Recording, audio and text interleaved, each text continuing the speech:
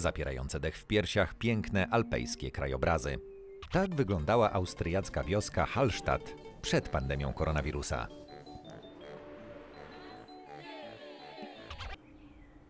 A teraz świecące pustkami smutne uliczki.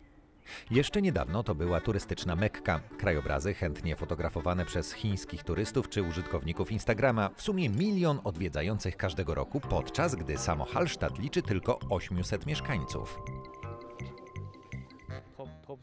To jedno z trzech najpiękniejszych miasteczek na świecie. Choć turyści je uwielbiali, a kasie miejskiej przynosili zyski, miejscowi nie zawsze byli szczęśliwi.